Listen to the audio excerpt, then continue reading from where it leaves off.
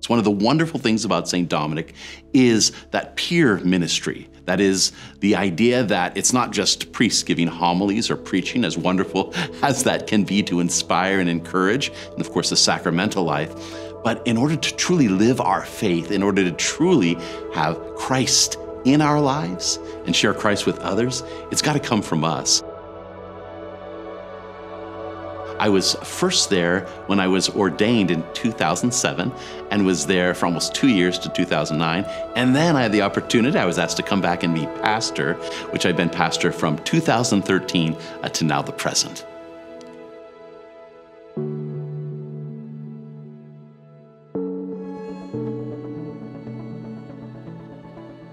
It was always memorable. We tried new things. I arrived in 1995, and I believe I left in 2013. So I was there 18 years about. I mean, it's an incredible spiritual vacuum.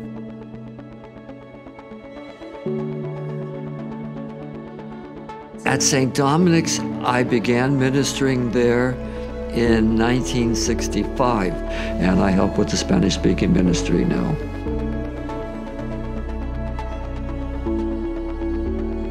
Taxis pull up with people, people walking through, uh, come and pray there. People obviously are not Catholics, uh, people just come down on the street.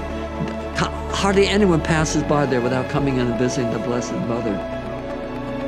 The joy of the gospel fills our hearts and our lives with the encounter of Jesus Christ.